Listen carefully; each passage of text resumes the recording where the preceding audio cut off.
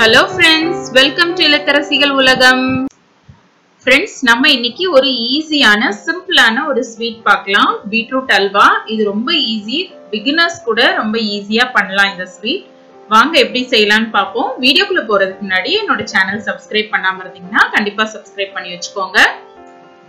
வாங்க வீடியோக்குள்ள போலாம். ஸ்டவ் ஆன் பண்ணி ஸ்டவ்ல ஒரு கடாய் வச்சு ஒரு ரெண்டு டேபிள் ஸ்பூன் நெய் விட்டுக்கலாம். இப்போ இந்த நெய்ல நம்ம முந்திரியும் திராட்சையும் நல்லா வறுத்து எடுத்துக்கலாம். நீங்க முந்திரி மட்டும் ஆட் பண்ணணும்னு நினைச்சீங்கன்னா அதை மட்டும் ஆட் பண்ணா போதும். நான் திராட்சையும் போட்டிருக்கேன். இப்போ இது நல்லா வறுத்தாச்சு. இதை எடுத்துருவோம் நம்ம.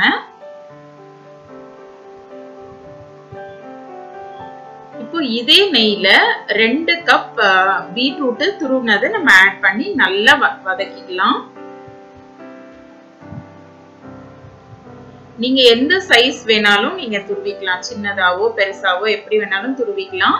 நீங்க சின்னதா துருவுனீங்க அப்படின்னா ஈஸியா சீக்கிரமா வெந்துடும் கொஞ்சம் பெருசு பெருசா துருவுனீங்கன்னா கொஞ்சம் நேரம் ஆகும் வேகிறதுக்கு. அவ்வளவுதான் வித்தியாசம்.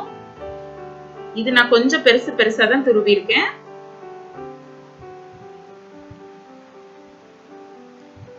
பீட்ரூட்டை வந்து நெய்யில நல்லா வதக்கும் போதுதான் அந்த பீட்ரூட்ல நேச்சுரலாவே ஒரு ஸ்மெல் இருக்கும் இல்லையா? அந்த ஸ்மெல் ஏன்னா அது வந்து நிலத்துக்கு அடியில் விளையிறனால அந்த மண்ணோட வாசனை லைட்டாக இருக்கும் எப்பவும்.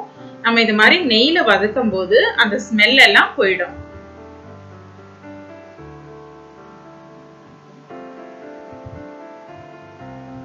இப்போ ரெண்டுல இருந்து மூணு நிமிஷம் வரைக்கும் நல்லா வதக்கிக்கலாம் நெய்ல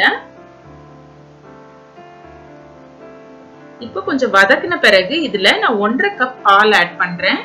நான் ரெண்டு கப் பீட்ரூட் நான் ஆட் பண்ணியிருக்கேன் அதுக்கு ஒன்றரை கப் பால் விட்டோம்னா நல்லா கரெக்டாக இருக்கும் வேகிறதுக்கு.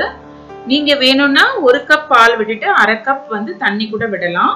நம்ம சாய்ஸ் தான். எல்லாமே பாலாக விட்டோம்னா கொஞ்சம் நல்லா ரிச் டேஸ்டில் இருக்கும்.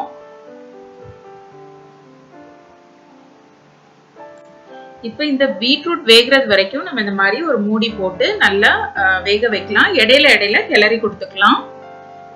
இப்போ பாருங்க பீட்ரூட் நல்லா வெந்து பால் எல்லாம் நல்லா வத்திருக்கு. இப்போ நான் அரை கப் சர்க்கரை ஆட் பண்றேன். சர்க்கரை வந்து பீட்ரூட் எந்த அளவுக்கு ஸ்வீட்டாக இருக்கோ அதுக்கேற்ற மாதிரி நம்ம அட்ஜஸ்ட் பண்ணி போட்டுக்கலாம். நல்ல ஸ்வீட்டாக இருக்க பீட்ரூட்னா அரை கப் சர்க்கரை கரெக்டாக இருக்கும். இல்லைன்னா நீங்கள் கூட ஒரு எக்ஸ்ட்ரா ஒரு கால் கப் நீங்கள் ஆட் பண்ணிக்கலாம். இப்போ நம்ம இதை மிக்ஸ் பண்ணும்போது அந்த சர்க்கரை எல்லாம் நல்லா உருகி நல்லா இலகம் கொடுத்து வருது. இப்போ இது நல்லா மிக்ஸ் பண்ணிட்டு அந்த தண்ணி அந்த ஈரம் ஈரப்பதம் எல்லாம் நல்லா வத்துறது வரைக்கும் இதை நல்லா வதக்கிக்கலாம். இப்போ பாருங்க நல்லா அந்த சர்க்கரை எல்லாம் நல்லா இதுவாகி நல்லா ஒரு சுருண்ட பதத்துக்கு வந்திருக்கு. இந்த ஸ்டேஜ்ல தேவைப்பட்டா ஒரு ரெண்டு டேபிள் ஸ்பூன் நெய் ஆட் பண்ணிக்கலாம். ஆப்ஷனல் தான். இப்போ பாருங்க அந்த பேன்ல ஒட்டாம வருது. இப்பதான் இது இது இப்படிதான் இருக்கும் அல்வாவோட பதம்.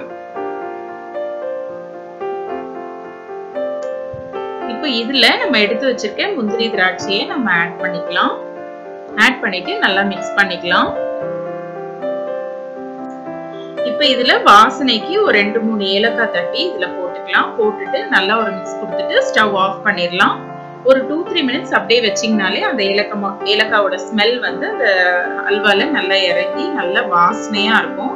பாருங்க இப்பொழுது நம்முடைய சுவையான பீட்ரூட் அல்வா சூப்பரா ரெடி ஆயிருக்கு. வாங்க சுவைக்கலாம்.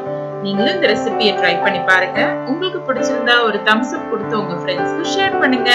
ஹாப்பி ஹோம் மேக்கிங் பாய்